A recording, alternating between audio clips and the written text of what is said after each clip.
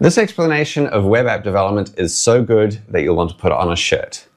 Front end, back end, full stack, it'll become crystal clear. Let's start with the web app's front end, the head. This is the bit that looks pretty, it interacts with the user, and it runs in your web browser. So this is the bit that you use directly as a web app's user. Front-end software developers build the web app's front end. As you'd expect, the back-end developers, they work on the app's rear end. This is the business end, the part that does all the heavy work, the heavy lifting, and it also stores your data.